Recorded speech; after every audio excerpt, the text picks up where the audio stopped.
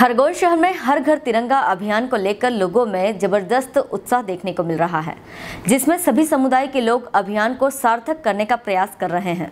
इसी बीच रविवार को मुस्लिम बस्ती जिलानी नगर में तिरंगा रैली निकाली गई, जिसमें बड़ी संख्या में मुस्लिम समाज के हाथों में तिरंगा लेकर रैली निकाली और लोगों को झंडे वितरित करके आज़ादी के अमृत महोत्सव में अपने अपने घरों पर तिरंगा लगाने के लिए प्रेरित किया गया, जहाँ मौके पर एसडीएम मिलिंद ढोके, तहसीलदार अमजद पहलवान सहित समुदाय के लोग शामिल थे।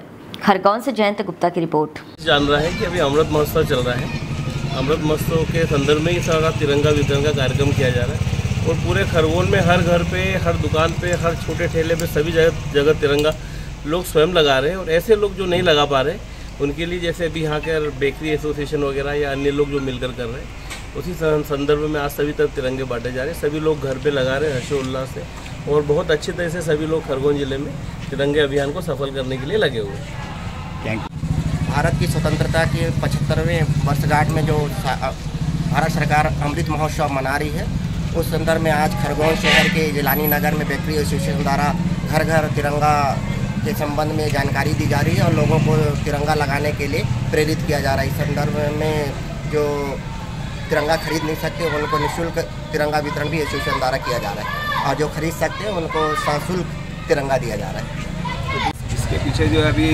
पिचहत्तरवा आज़ादी का जश्न मनाया जा रहा है वो है। और हम चाहते हैं कि हर घर पे जो है कि देश का तिरंगा दिखना चाहिए और हर छोटे बड़े बच्चों को अपने तिरंगे के मामले में जो कि जानकारी हो- होनी चाहिए। अभी घर घर भी बांटे हैं आप हमने घर घर भी क्या और हम चाहते हैं कि हमारे वार्ड में पूरी खरगोन के हर घर में हर मकान पे हर दुकान ठेला सबके सबके यहाँ पंद्रह अगस्त तक के पूरा तिरंगा दिखना चाहिए। क्या नाम है आपका? फ्रेंड्स